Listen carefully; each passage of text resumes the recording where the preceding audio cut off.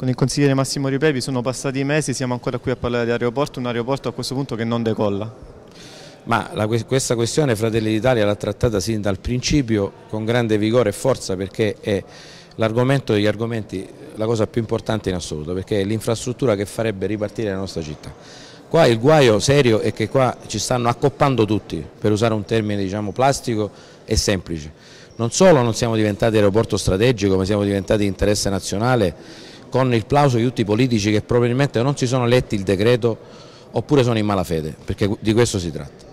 Noi abbiamo fatto battaglie con gli strumenti che abbiamo, abbiamo fatto mozioni in consiglio che il, puntualmente il PD, nonostante fosse una mozione perfettamente in linea con lo sviluppo dell'aeroporto per farlo diventare strategico e fare diventare una società, la liquidazione della Sogas e comunque una Nuco che potesse servire a sviluppare l'aeroporto, ce l'hanno bocciata. Abbiamo, stiamo facendo una raccolta firme per fare diventare l'aeroporto strategico e nulla si sta muovendo, cioè noi abbiamo i nostri politici nazionali che non hanno fatto assolutamente niente, questa è una cosa scandalosa, un atto, dico uno, l'ultima cosa che diciamo, fa vedere qual è la strategia nazionale ma anche regionale per distruggere Reggio Calabria è che ora è uscito il bando dell'ENAC dove si dà priorità alle società che gestiranno insieme l'aeroporto di Reggio e di Crotone.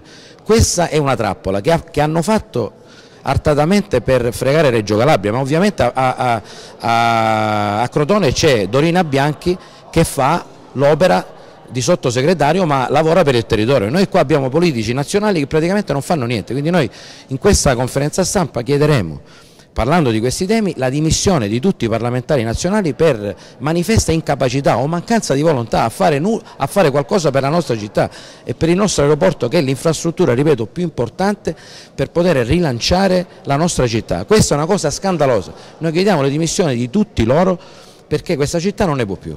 Che cosa fanno a Roma? Che cosa stanno a fare a Roma? Che cosa stanno producendo? Noi vogliamo, chiederemo anche tutti gli atti che loro hanno prodotto per la nostra città o che non hanno prodotto per la nostra città. Siamo stanchi, no, ovviamente noi non ci stiamo a questa cosa, quindi l'appello è alla cittadinanza a firmare la petizione e a lottare con noi per salvare l'infrastruttura più importante che deve essere assolutamente e strategicamente collegata a Messina perché noi senza Messina non possiamo vivere e Messina senza Reggio Calabria non può vivere.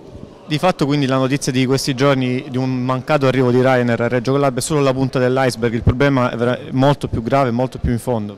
Il, bene, il discorso di Ryanair è una cosa importante ma infinitamente più piccola rispetto alla strategia globale, nazionale e regionale di distruggere Reggio Calabria.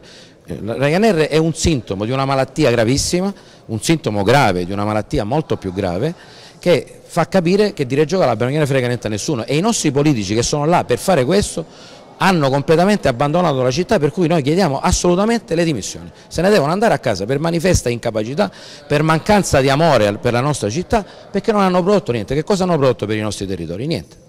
Un'altra battaglia che stavate portando avanti era anche eh, quella riguardante Sogas, eh, a che punto siamo da questo punto di vista? Ma noi sin dall'inizio abbiamo detto che Sogas deve essere liquidata, deve andare in liquidazione. Quando lo dicevamo noi, gli scienziati del PD grandi e piccoli hanno detto che noi non avevamo detto una sciocchezza. Oggi lo dice la Procura, dovrebbero ravvedersi e mettersi una scritta al collo con un aggettivo qualificativo dell'azione che hanno fatto.